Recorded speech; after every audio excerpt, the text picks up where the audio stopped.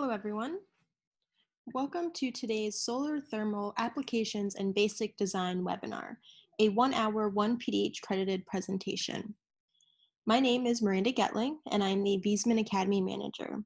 I just wanted to take this opportunity to say thank you for attending today, and I hope that you are all staying safe and healthy at this time. Today, your webinar instructor will be Jody Samuel.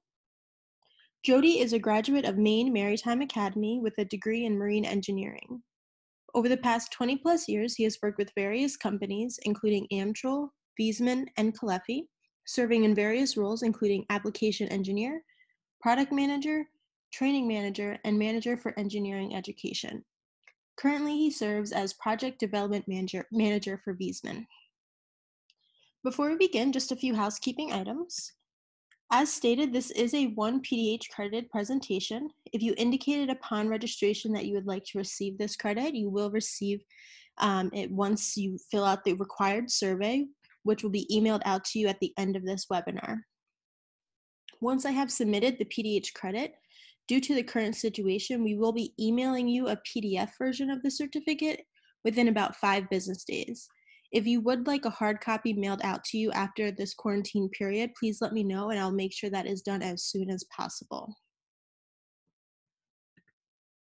Everyone will stay muted throughout the webinar. However, you do have the opportunity to ask any questions during this webinar by the Q&A button at the bottom of your screen. On the left, you will see the desktop laptop version, and on the right is the mobile device version. Jody will be stopping about halfway through the presentation and at the end to answer any questions that have been submitted.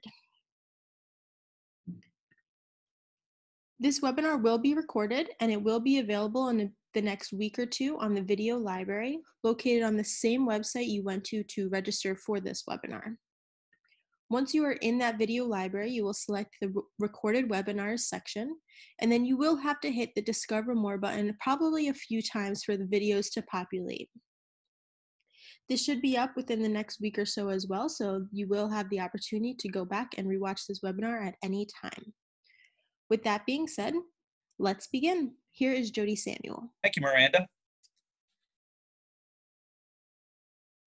So uh, today's presentation is Solar Thermal Applications and Design Basic. As Miranda said, my name is Jody Samuel. I am work for Viessmann and um, we'll be, I'll be covering today's topic with you. So first couple of housekeeping slides. So Miranda talked about the, the CEU or the Continuing Education Unit or the PDH. Uh, again, our statement on that and uh, the organization that we're associated with in delivering uh, the PDH. Um, the presentation is copyrighted. It's, says product, uh, the property of Viessmann, but if you'd like a copy of it, when you fill out the survey, make a note and Miranda can get you a copy of it as a PDF. And now on to the learning objectives. And today is really about application and the basics of solar. And so we're really going to go kind of get down to the base level, you know, one hour, you know, a pretty tight time to cover a lot of information. In fact, yesterday we went over by about a minute or two, but these are our learning objectives. State the most common application for solar thermal water heating. List several site considerations for optimum system performance. Explain how to determine the appropriate quantities of collectors and correct storage volume. State the two most common solar preheat storage tank layouts and finally, list the pre-design steps needed to properly design a solar domestic hot water system. Now, when we talk about solar, thermal solar, it's interesting to see what's happened in the industry, say about over the past 15, 16 years. You know, it's something that, you know, about 15, 16 years ago, the business picked up. A lot of people got into um, thermal solar and then the business started to drop off. But as a company, we still continue to do thermal solar. You know, the projects still uh, keep coming in, and going out. So it's something that still needs to be talked about. Now, when we talk about thermal solar for projects, a lot of different things come to mind in the eyes of the people associated with the project. First one that comes up is always about free. I want to harvest free energy from the sun. You know, that's that's something that you definitely can do with solar. Sometimes it's well, I need, my project needs LEED points. And LEED points gets them, uh, you know, solely get some LEED points in the project. That's not unusual as well. It could be I want to reduce my carbon emission. It could be I, I want to offset fossil, fossil fuel costs. Um, the thing with thermal solar is it's not the be all and end all of adding heat into the building. So it's really about how we apply it and utilize it properly within the building. Now, when we talk about thermal solar, it's so thermal solar is really a small segment of the solar market. We talk solar, most people right now immediately think about photovoltaic, PV. PV is one form, thermal solar is another. Thermal solar is really about liquid heating, as you see over here. And we're going to look at it through the aspect of low temperature operations. Typically, we're looking at glazed collectors. Glazed collector means there's a sheet of glass involved in the, the design of the collector. And from a design standpoint, it's really about pool heating, domestic hot water heating, and space heating. Now, where we deal with is what's called closed loop glycol systems right here. Closed loop glycol systems, they can be pool heating, domestic hot water heating, or space heating in cold climates. So that's really the segment, of the market that we're really dealing with. Now, we talk about a pressurized closed loop system. Here's a good example of what we're really talking about from an aspect of solar. So it's going to be a so system with the solar panels on the roof. And somewhere in that solar panel, we're going to pump a fluid. You see down here, heat transfer fluid. Our fluid happens, the fluid happens to be a uh, water polypropylene glycol mix. Uh, why the glycol mix? This collector is sitting outside the building. It has solar fluid in it.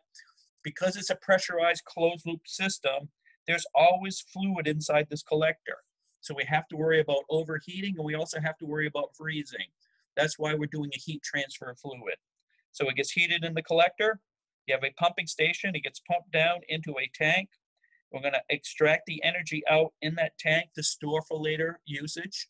And then it simply gets pumped back up to the collector again. Because it's a closed loop system, there is an expansion tank and there's a relief valve also to help maintain the proper pressurization of the system. Now over here, you'll hear see something called domestic hot water backup source. Key thing with thermal solar is it, it cannot be the sole source of heat into the building for an application. Okay, the amount of energy that's available changes day to day, so there has to be a backup source there for when solar energy is not available. In fact, the backup source normally sized for 100% of the load. But when we talk about what we do in the world of solar, it is glazed collectors, it is uh, pressurized closed loop systems. And this drawing here is a snapshot of what we, we are doing from an aspect of solar. By the way, this snapshot is true whether I'm doing a small residential system with two or three collectors or a larger commercial system with 50 collectors.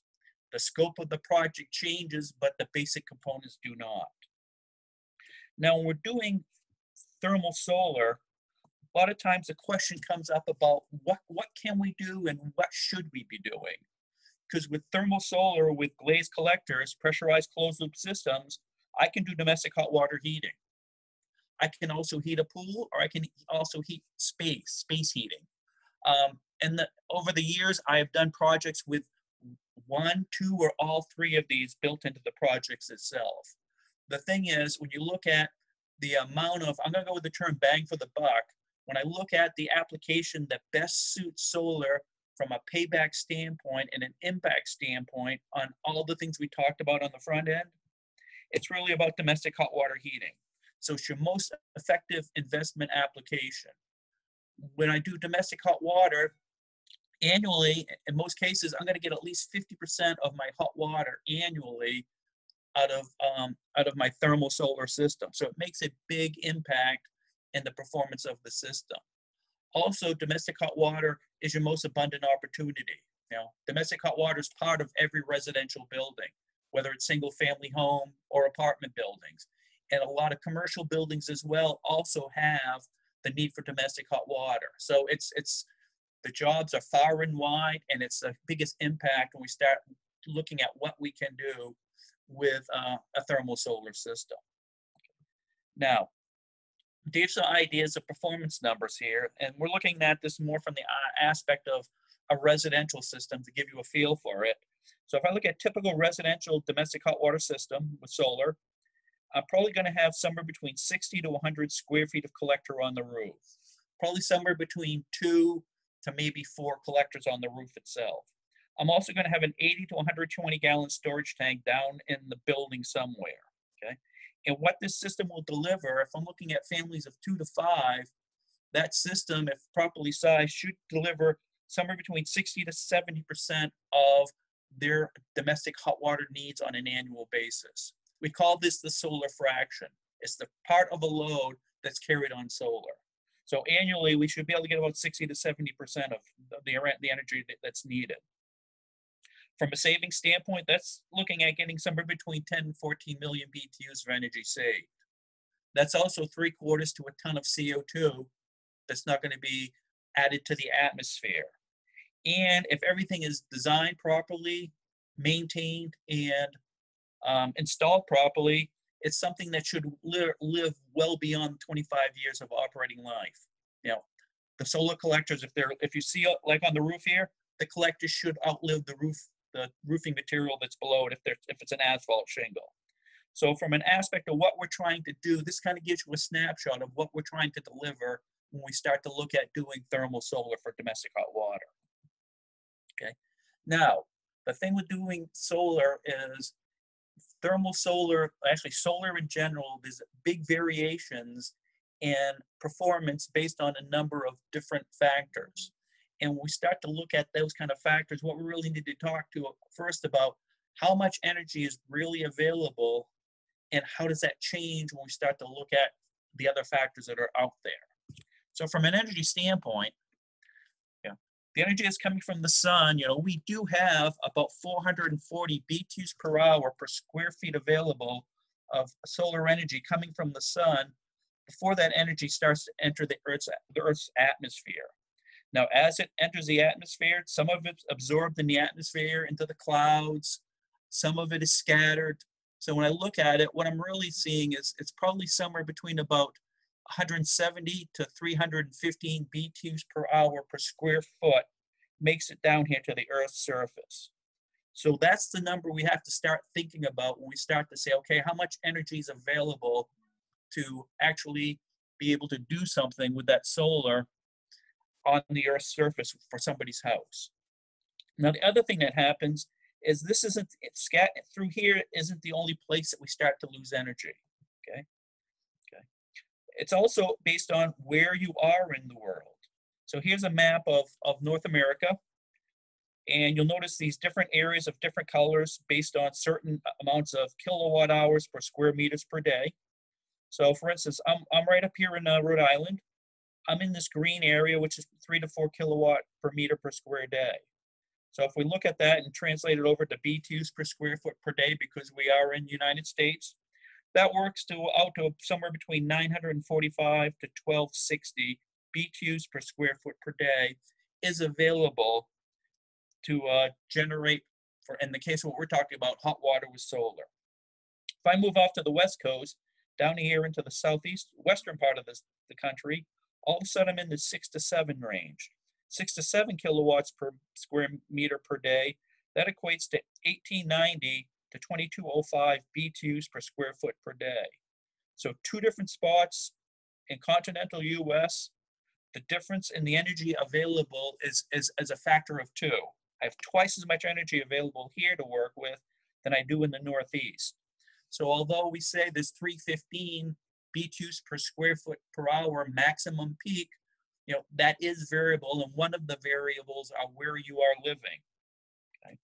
Now, the other variable that plays into it is also how much of that energy is actually getting through the collector and making its way into the building. So if I look here and I say, okay, here's my sun, here's the sun shining down on it, and you know, right about here, as, as it gets to the collector, I have 315 BTUs per hour per square foot, that, that, that opening number. Now the thing is, in order to get it into the building, there are also associated losses. So this is a sheet of glass up here, so some of that energy is going to reflect off. There's a loss there. Also, some of the energy is going to be absorbed and held in the glass itself. There's another loss. So I have those losses, some of it penetrate the glass and it now gets down to the absorber.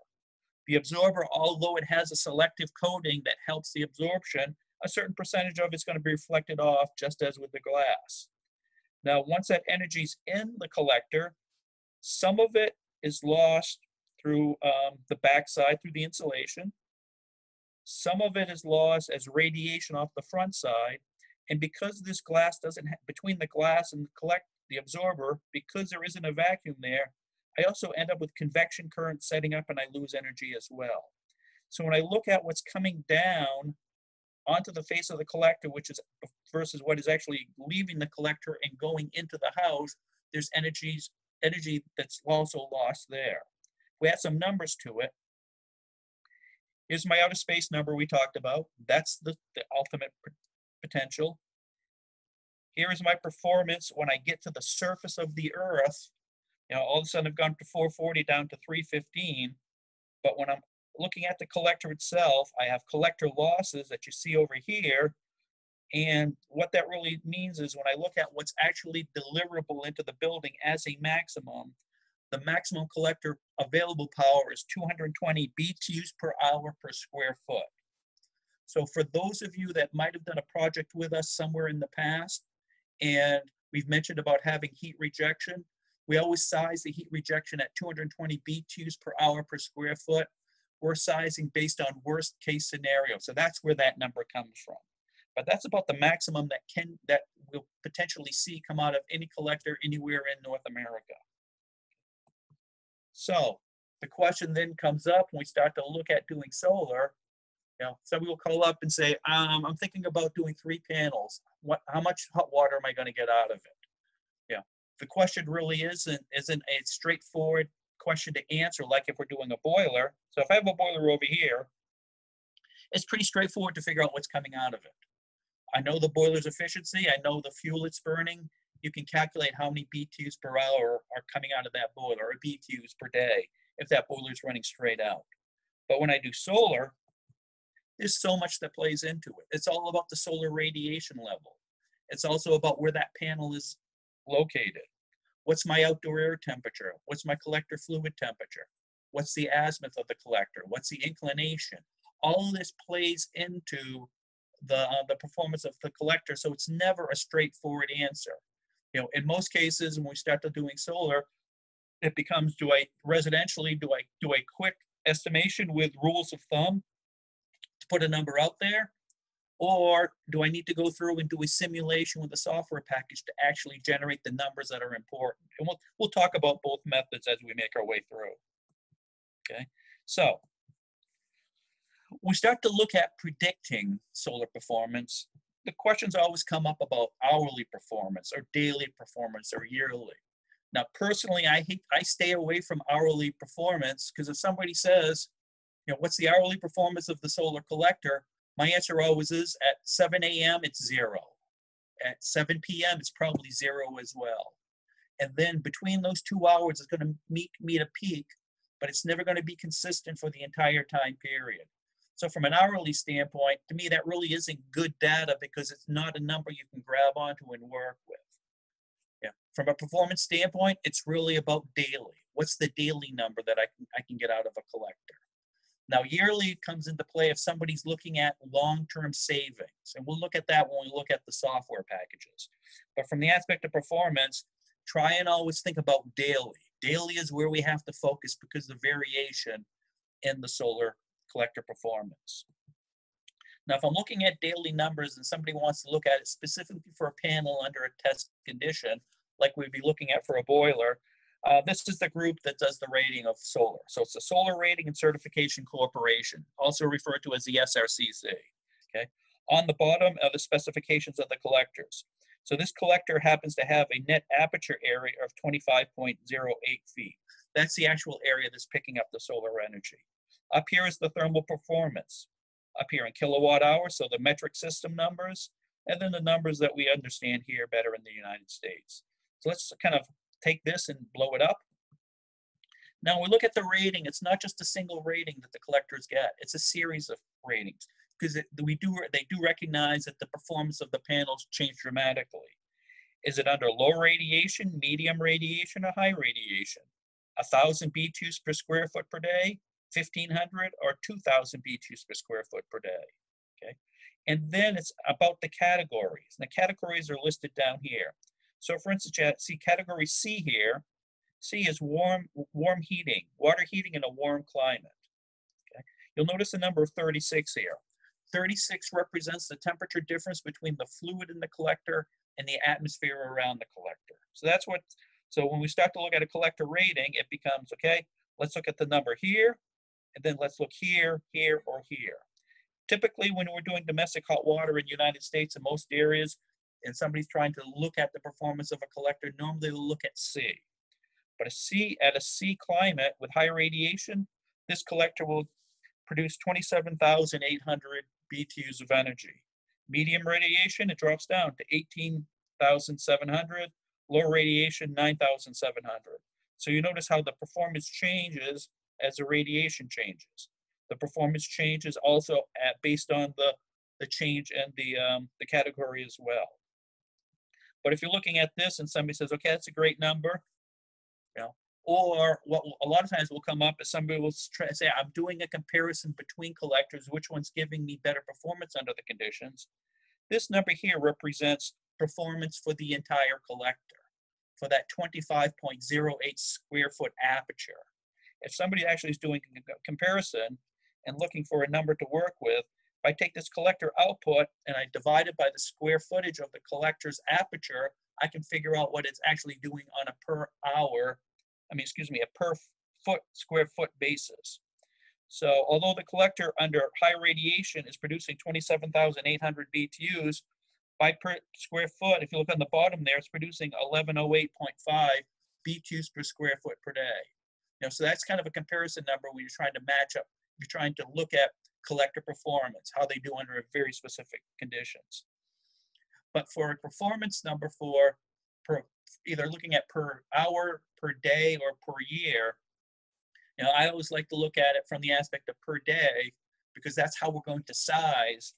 And these are some numbers for the collector's performance. And these numbers also play into the simulation when we start to get the, the software. Okay. Now, it's not just about the radiation that's available, high, medium, or low.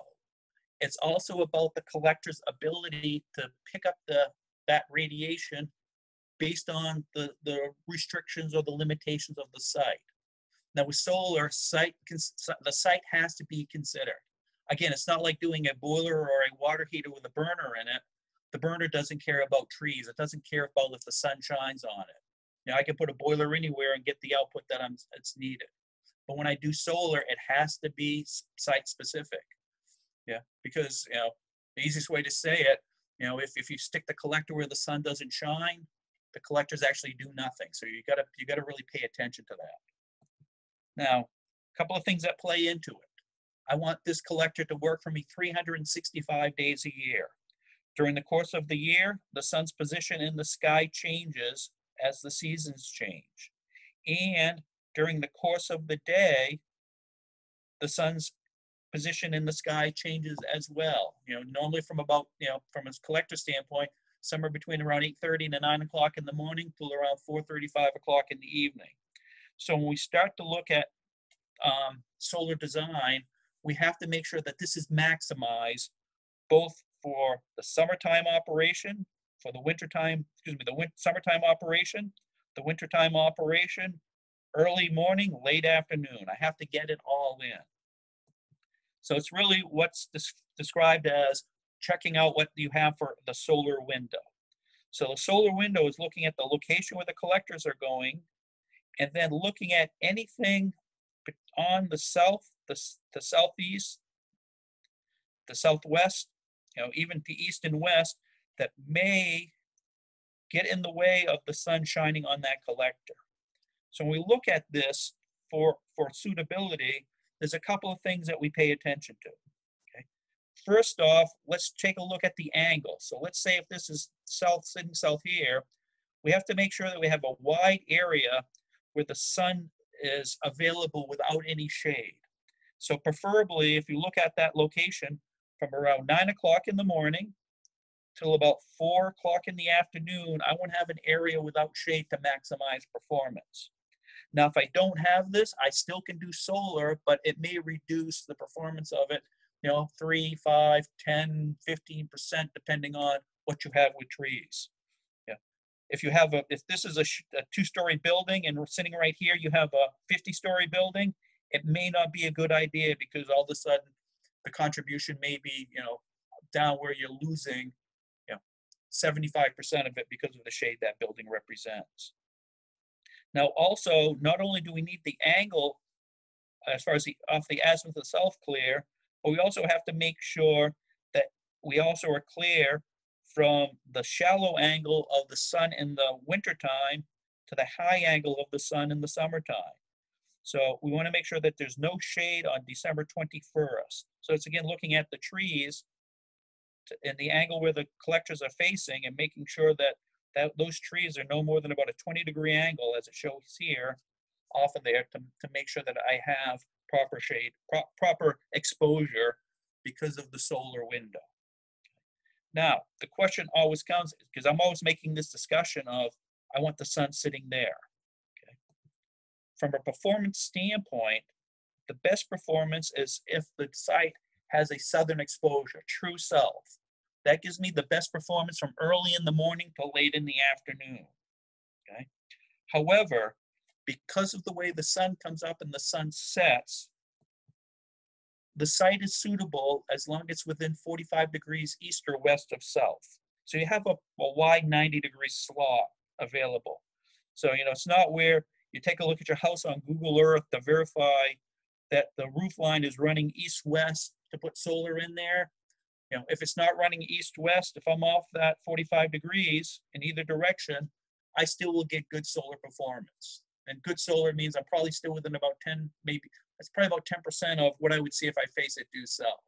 So the the window, the this window is actually much larger when you look at the azimuth. Now, the other thing that we have to consider is the tilt of the collector or the angle of the collector. Okay. If I am doing a pitched roof and I'm putting it on here, I might be locked into the pitch there because of aesthetic qualities. Yeah. Commercially, if I'm putting it uh, somewhere ground mounted, there'll be a freestanding rack that I can make that adjustment on. But from a performance number, there's always going to be a best number when it comes to the angle, okay? Because from a performance standpoint, I want the collector to be sitting 90 degrees to the, so, the sun. That gives me the maximum amount of BTUs per square foot on that collector surface area. Now, one of the things that we don't do is we don't do tracking thermal solar systems. They're always in a fixed position.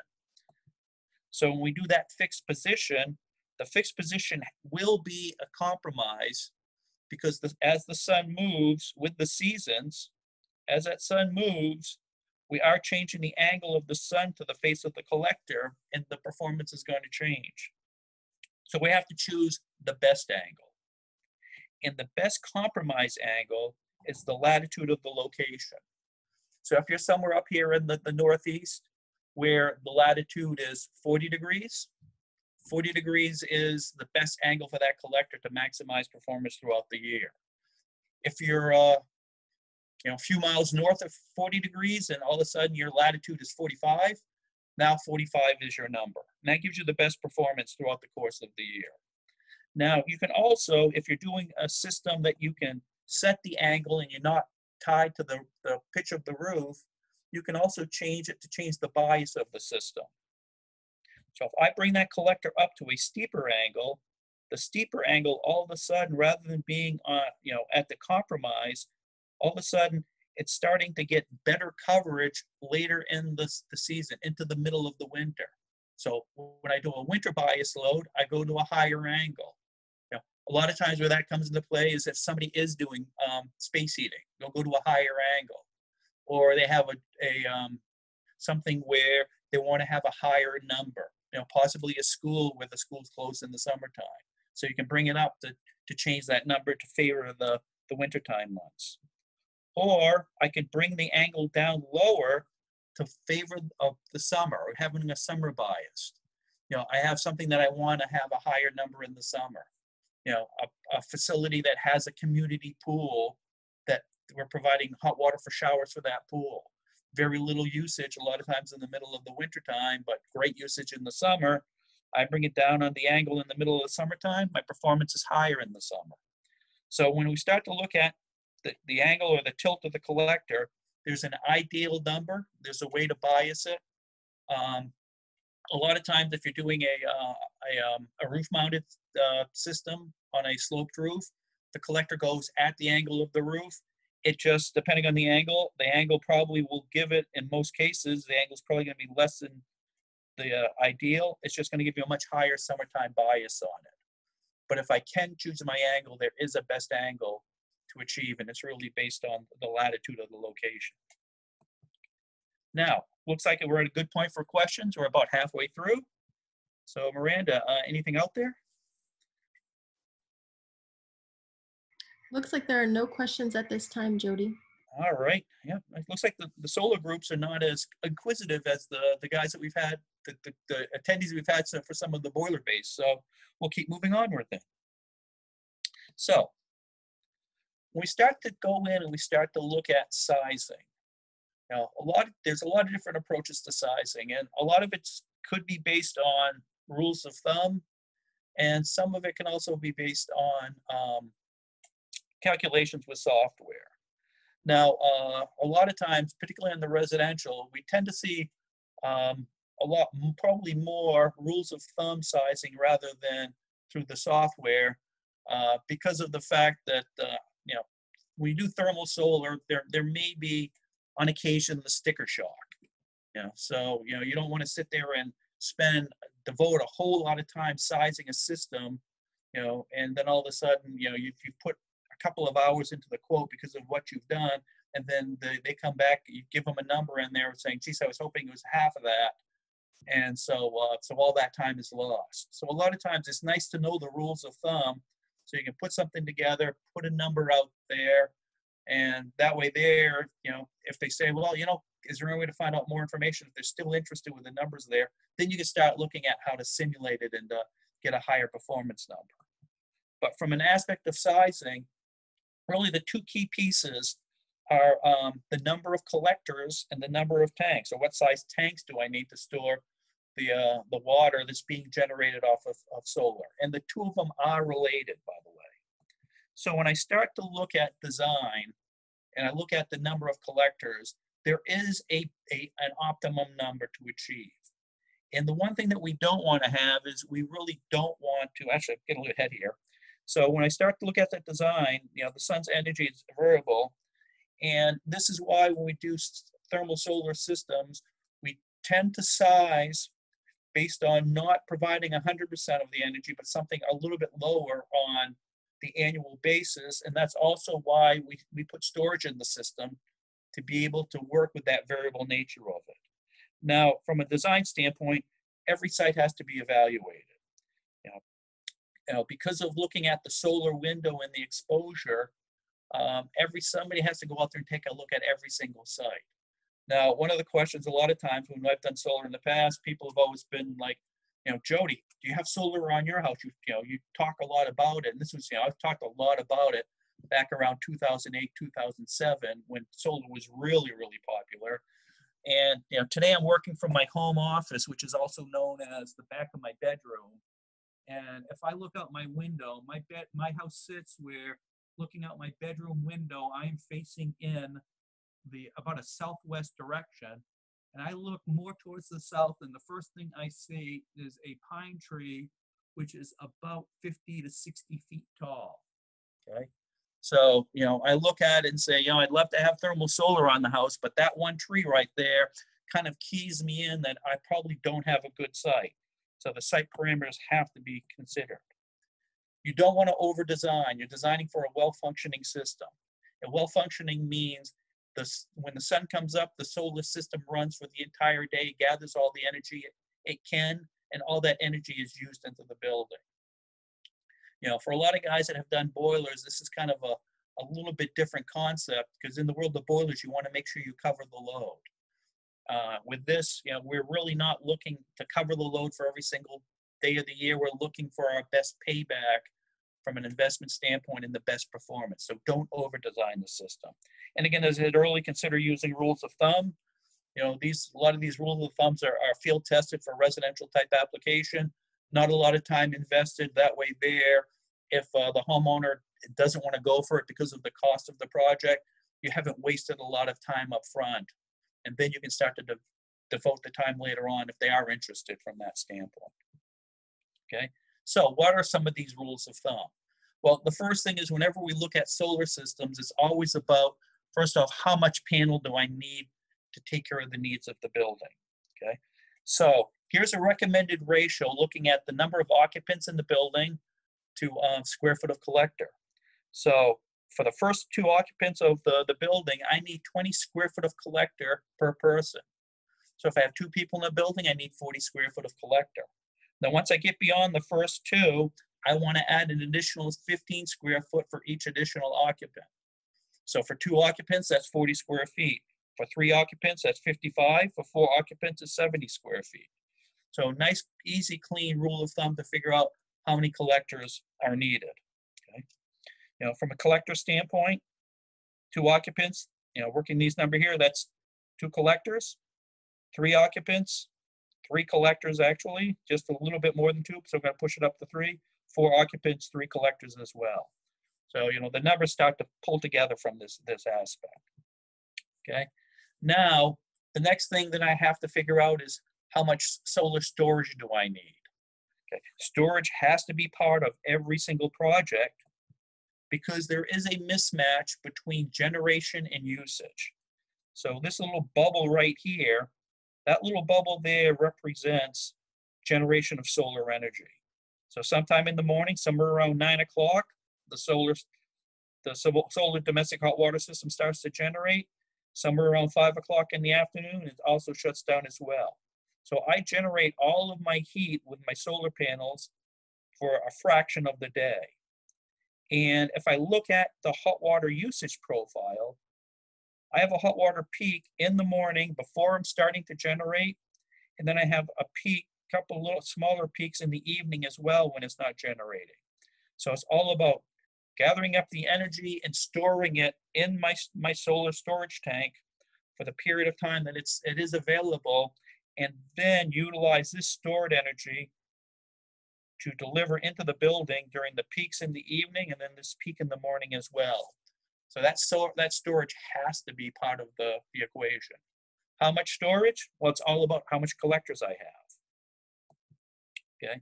So if I'm looking at a ratio for storage to collector, I need about one to two gallons of storage per square foot of collector.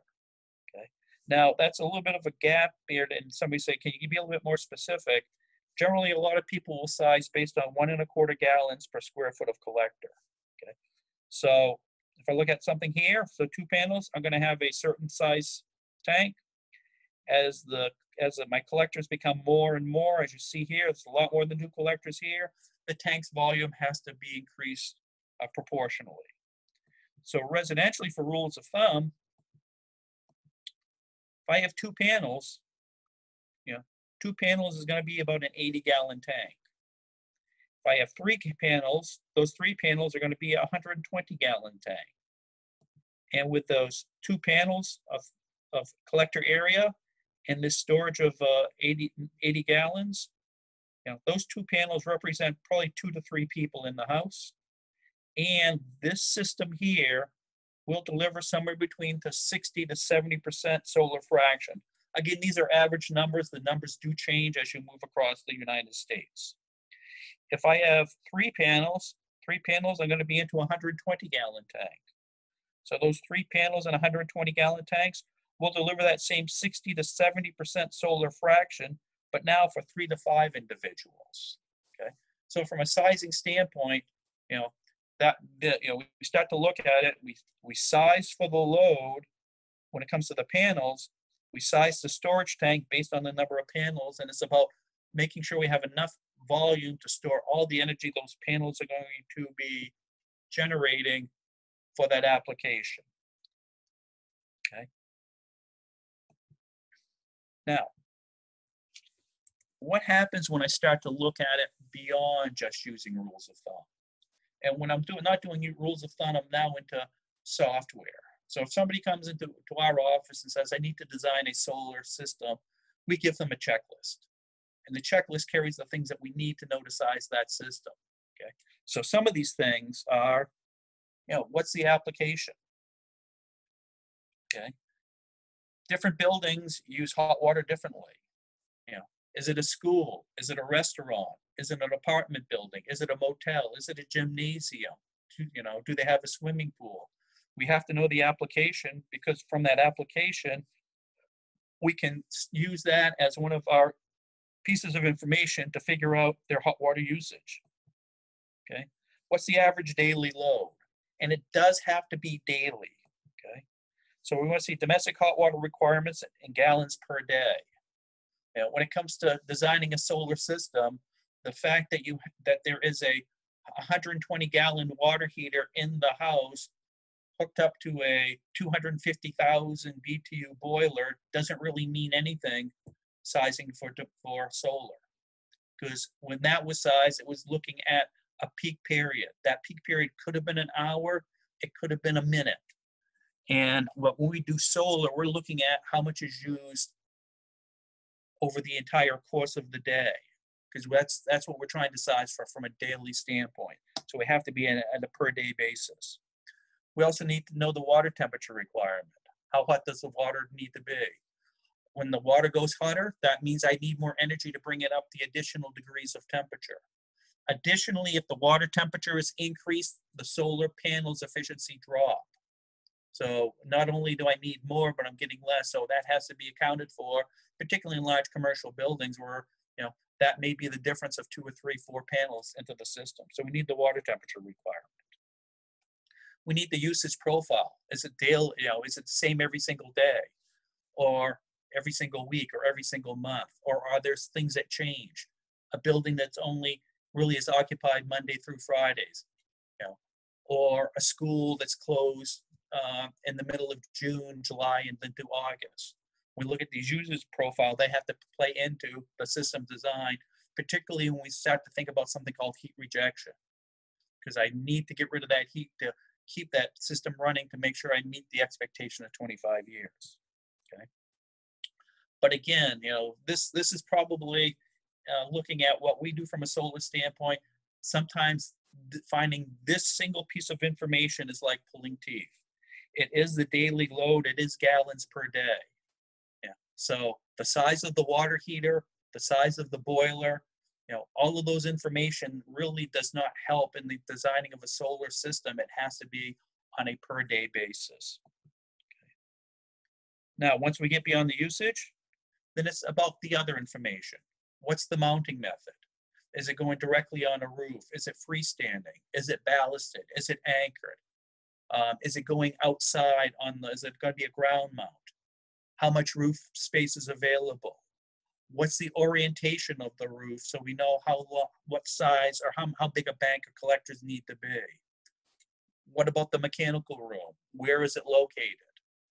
How far away is the piping? How much room do you have for tanks? You know, commercially, you may start to get into large vault storage volumes 300, 500, 1,000 gallons, depending on the use. What's the building characteristics? Are there any shading? All of that has to come into play. What's the target? What's the target solar fraction? You know, are they looking for 50% in, in, of, in, of uh, solar contribution, or are they looking for 70% or 30%? What's the customer's expectations? All of this comes into play when we design a solar system, and these are needed numbers.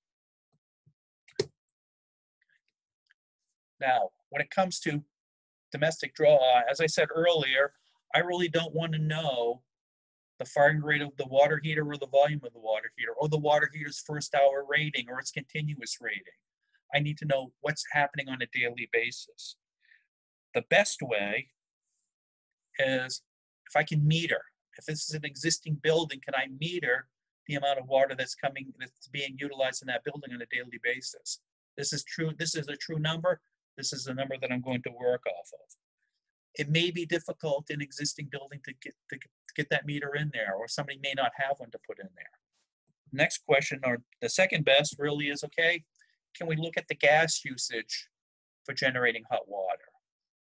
You know, if the building has gas for hot water and gas for heat space heating, well, let's look at it from the aspect of how much gas you're using in the middle of summer. You know, you shouldn't be heating on that side of things. You know, but uh, you know what we're really trying to do here with the gas is we're trying to look at the gas consumption, the efficiency of the boiler, the temperature rise of the water, and we can back ourselves into a usage to utilize in our calculation. Because from, from the aspect of the usage, we don't want to oversize the system. And also, when we start to look at it, energy savings in the solar fraction, we need to know what's being used for hot water so that those numbers can be a close, prox- uh, close approximation of what we should save from, uh, from that angle. Okay. Now, if none of this uh, information is available, then it comes down to, well, how can I estimate it? Okay, couple of rules of thumb. So in a residential home, single family home, 15 to 20 gallons of domestic hot water per person per day. You know, it's it's a it's a number, and if you I think if you look at some of the stuff from uh, DOE, the number's probably pretty close. If you're doing a multi-family apartment building, 10 to 12 gallons of domestic hot water per person per day. If you're not doing one of these two applications, if it's a commercial building, uh, now it's time to pull out the ASHRAE manuals. And I want to say ASHRAE um, applications, chapter 50 is domestic hot water. I tend to spend a lot of time in that manual. But in there, they will give you average domestic hot water usage for, for some typical type applications for commercial buildings. You know, so when everything else fails, if somebody can't come up with a number, my, my fallback is always to pull out the ASHRAE manual. The numbers will be a little different. You know, for instance, down here you have a multifamily apartment number. The ASHRAE manual has one as well. So this is done by, by per person per day. For instance, in ASHRAE, it's always about the application, so it's per apartment per day. So here it's 10 to 12 gallons of hot water per person per day. If I'm doing a 50 unit apartment and I pull my number out of the ASHRAE manual, it's going to tell me 40 gallons per day of hot water per apartment. So there's a little bit difference between the two. But again, if the if somebody can't if you can't find a number somewhere else, you know, here's some numbers to work with. Okay. Now, the other thing I keep on mentioning is we don't want to oversize or we don't want the system to be oversized or uh, made larger than what's needed. And that's really all about the looking at the consumption versus generation. I never want the generation to be greater than the consumption. So if I look at the month by month daily consumption, the goal is that consumption is always going to be above the, the solar yield as you see here. Because the minute the, the solar yield gets above the consumption, that means I'm generating more heat than I need to utilize. My efficiency is low. My contribution, my contribution is high, but my efficiency is low, and now I have to make sure that I'm rejecting it somewhere to maintain um, long-term uh, viability of the system. So we have to size based on the lowest expected load during the best summer conditions. And that really is something that the software is so key to, to work with because you can see it as you make those adjustments in the software program. Okay, so when we look at systems and we're trying to size for optimization, it's always a, a balance between the solar fraction that's needed and the system efficiency. And there's always going to be a band, and you can see where the two of them cross. Somewhere around that cross point is always going to be the um, the best when I look at it from an aspect of absorber surface area versus system efficiency. So in order to achieve this, I have to know the load. I have to know the parameters for the solar uh, site. I then I use solar simulation software, and this is really like the key to to get a good simulation with good numbers for for solar systems. Okay, so how does the solar software work? Well, there's a, set, a couple of them out here. I've used two of them. So up here, RETScreen's a great, great one. It, uh, I, think it's still free. It's generated by the Canadian government. You just have to register to use it.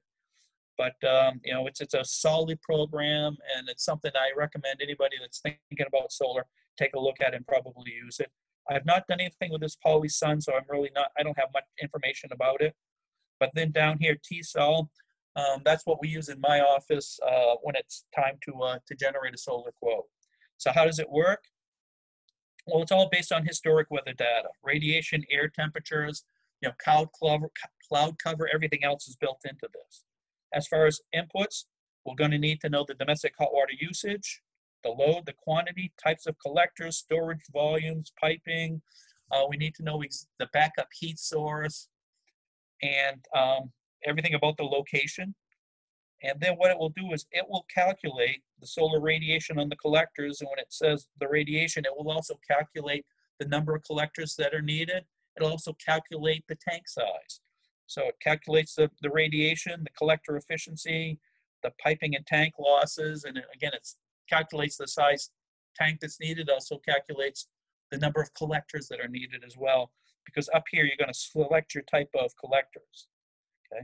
Now, what it will predict based on all this information is your energy output of solar system, solar fraction, efficiency, fuel savings, kind of like this here. So this is the results from a solar simulation. So this is a project that uh, somebody ran, and based on the inputs for the system and the selection of the tanks and the collectors, this project's going to save uh, about 211 therms of natural gas a year. It's going to avoid 2,765 pounds of CO2 emissions. The solar fraction is going to provide 68.5% of the hot water for this application, and the collector efficiency is 38.5. So it gives, these are good information, and it tends to be when somebody's really trying to justify doing thermal solar, you know, these tend to be the information numbers that they're looking for to, to help make that decision. Okay. Now, the other thing that the, the simulation software gives you, which is important from our standpoint when we start to look at designing the system, is we don't want the system to be oversized. We don't have the oversize for the application. So it gives you a graph here, and this looks at temperature spikes, the temperature on a daily basis of those collectors. And typically, a well-designed system, the temperature is going to be staying somewhere down here, as you see along here. All these spikes indicate that uh, the temperature, something is causing a condition where we're not pulling the heat off of the collector. That could be an oversized collector array. It could be an undersized tank, or it could be something where the, there's no load present. Well, for instance, a school that they're not using hot water on a Saturday or a Sunday.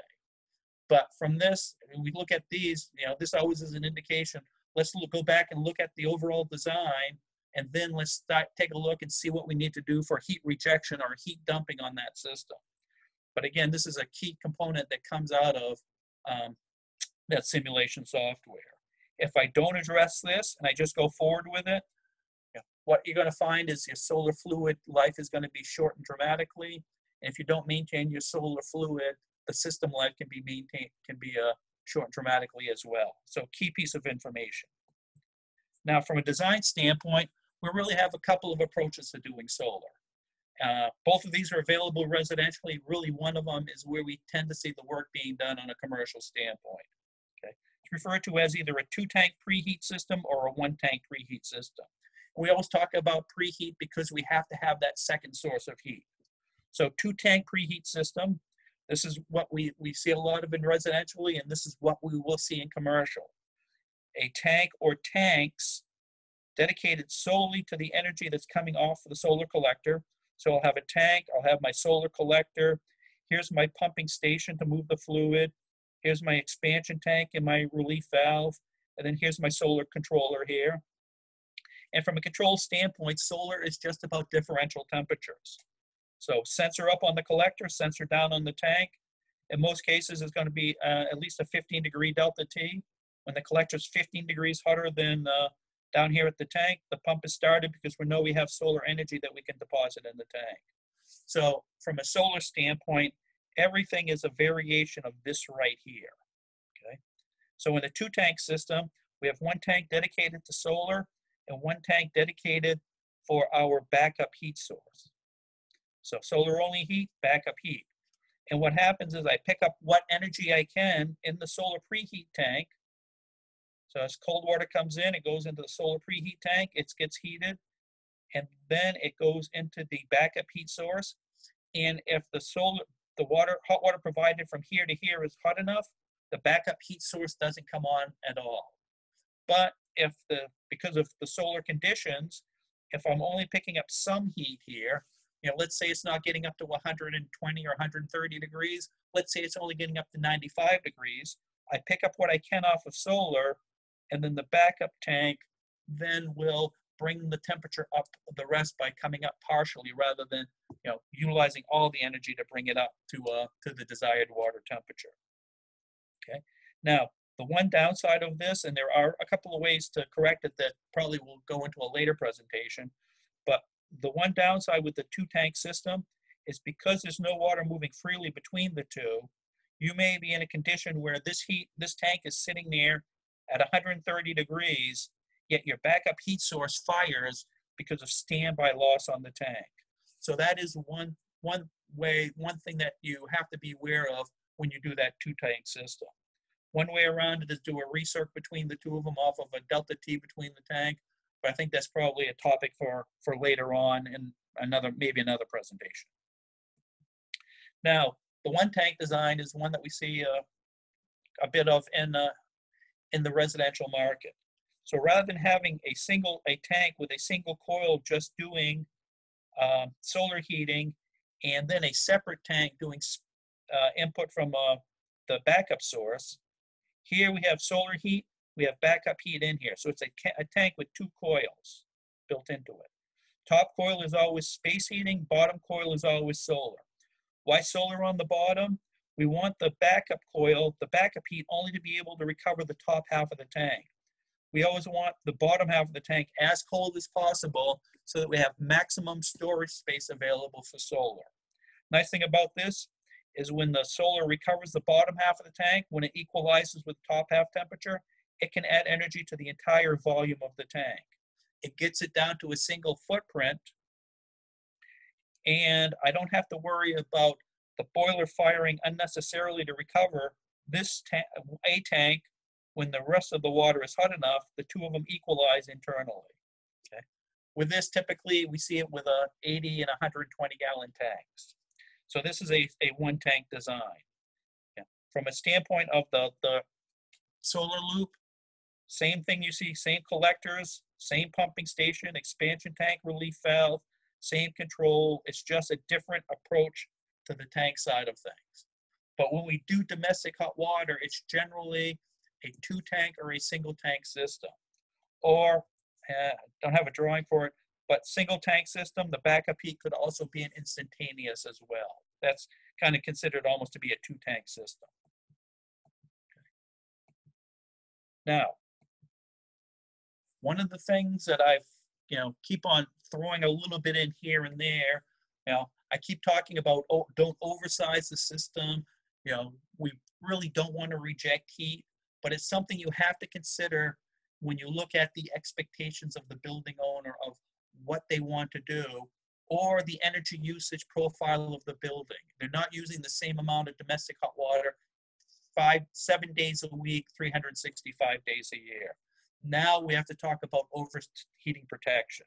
Okay, overheating protection is really about these spikes. I don't want these spikes to occur, so I'm going to put some sort of protection that on a day it might, you know, you're thinking about a spike of about 330 degrees. If I can keep the fluid moving through that collector and rejecting that heat somewhere, somehow, it keeps that temperature down, and then the problems are associated with that spike do go away. So a couple of ways of doing it, and this is really something that we you can do. I'd say mostly in residential systems that aren't over designed, but you still may have to worry about high temperature spikes.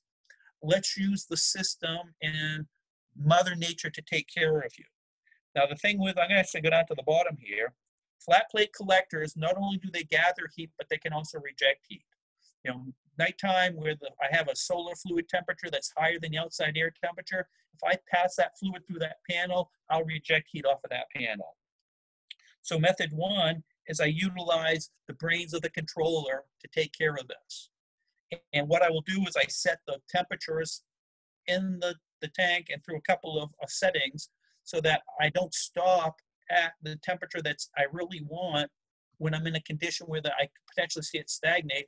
I allow the temperature to drift up higher through the setup of the control. I'm pulling extra energy in there that I really don't need, but I want to keep that pump moving on that collector. And then at nighttime, the collector then, the system then turns that pump on at night, takes that hot fluid, that's that's extracts the heat out of the tank and rejects it out through the collector.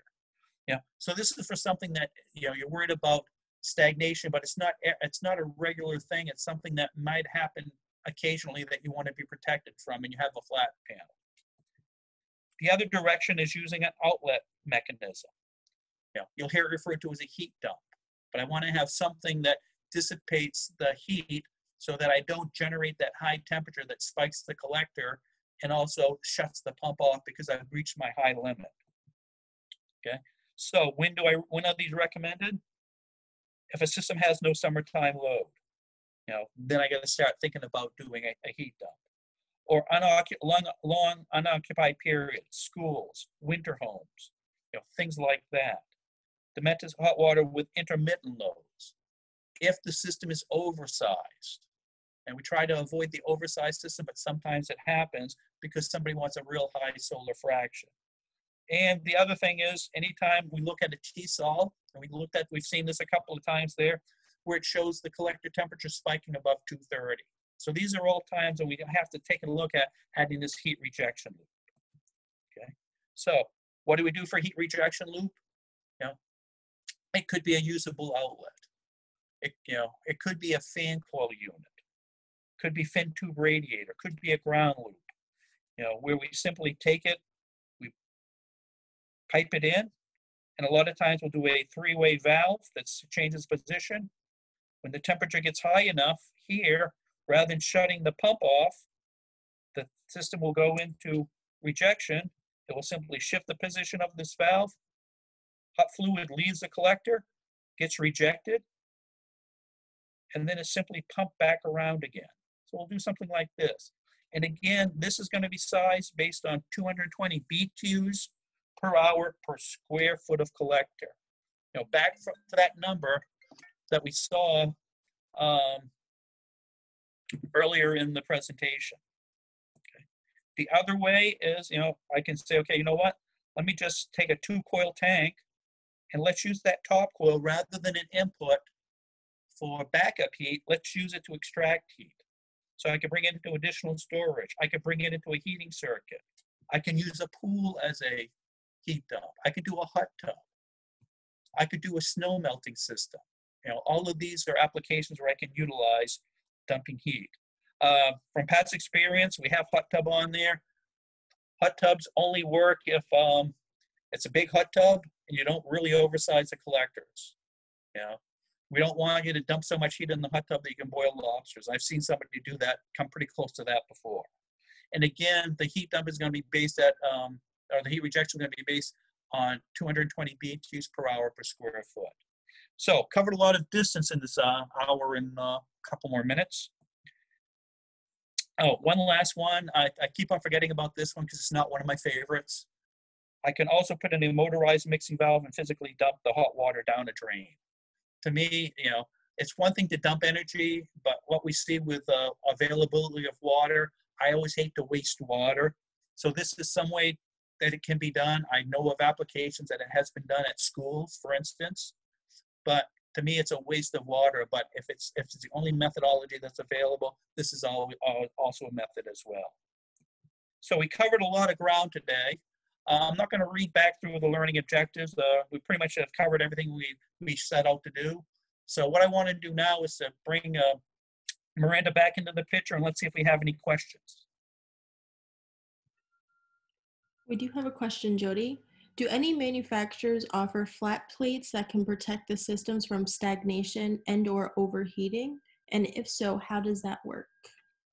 Uh, the answer is yes. Um, there are some coatings out there that uh, when you put the coating out there, when it hits a certain temperature, the coating actually starts to, I'm going to use the term shade, it starts to, it actually starts to lose the ability to allow the, the, ther- the solar energy to penetrate and uh, raise the heat up.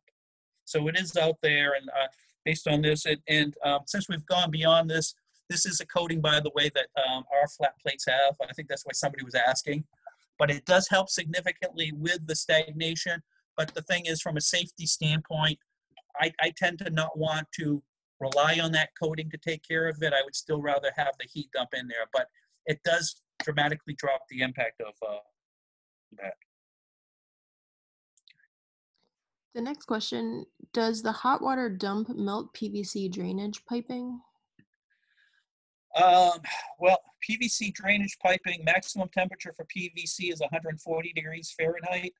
So if you have, um, if you're going to dump, you're probably going to end up trying, yeah, I'd, s- I, if, if you had PVC drainage, I would probably put a mixing valve on that dumping to make sure I maintain the water temperature below. Because a lot of time we start to look at stagnation, so that we're not dumping water early, we may actually bring the temperature in the tank all the way up to 180 degrees, which is not unheard of, and something like that. So to, to this question, if you have PVC drainage, absolutely pay attention to it because uh, evidently the person that just wrote this, I know the individual says, I've seen it done. Uh, great, great question and uh, great input on that, Jim. Thank you. But yes, be, be wary of it if you have PVC because of that 140 degree uh, limit. And with that, I think that's our last question. So what I'm going to do, oh, do we have one more or? Nope, that's it. So what I'm gonna do is uh, turn it over to Miranda. I want to, I want to thank you all for coming and spending uh, an hour of your day with us. And with that, Miranda, that's all you. Great, thank you, Jody. Just a few reminders before we close out. As stated, a recorded version of this webinar will be posted in the video library within the next week or so, so you will be able to go rewatch it at that time. If you wanted the PDH credit, we will be sending certificates out within about five business days once you do fill out that survey in the follow-up email. If you think of any additional questions, feel free to email me. We will be putting together a Q&A document that will be sent out to all the attendees today that will have all of the answers to those questions. And lastly, if you're not aware, the Viessmann Academy holds monthly webinars beyond this rapid fire session uh, for the COVID-19 quarantine. Um, so keep an eye on the website for that. And then we will be extending our webinar offerings until May 17th um, for this COVID-19 quarantine period. So keep an eye out for that as well. With that being said, that does conclude our webinar today. Thank you for attending and have a wonderful day.